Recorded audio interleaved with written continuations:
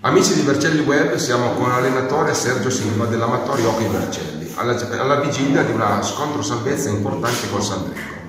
Il mister vuole fare un appello ai vercellesi, alla città di Vercelli. Mister.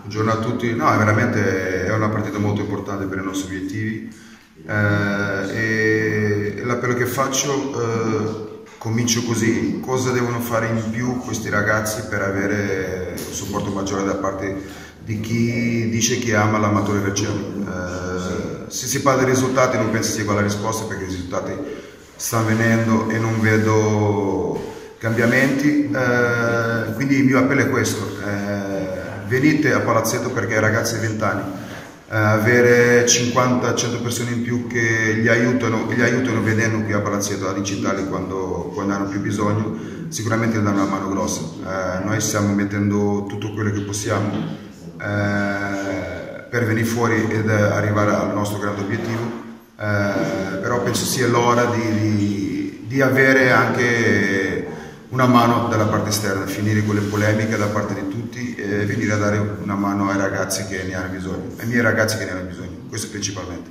Il messaggio è questo, meno polemiche sui social e più presenza qua. Assolutamente, eh, tifoso è, è, può e deve il diritto di contestare o di non essere d'accordo eh, su tante cose, su tutto. Eh, però se ama veramente i colori non ama eh, la persona o le persone. Eh, io se faccio il tifo per l'amatore faccio il tifo per l'amatore, per i ragazzi che poi vanno in pista, neanche per l'allenatore, no. non ho bisogno di quello. Uh, però per Alex Raffaele, per Davide Balestero, per Matteo Milani, per Oscar Ferrari, per non dirli tutti, sicuramente sì, loro hanno bisogno uh, della gente che gli dia il supporto e l'appoggio per continuare su questa strada che eh, non è perché abbiamo fatto tre belle prestazioni e due buoni risultati che è già finita. Sabato abbiamo una partita importantissima che vogliamo continuare eh, con le belle prestazioni e i risultati.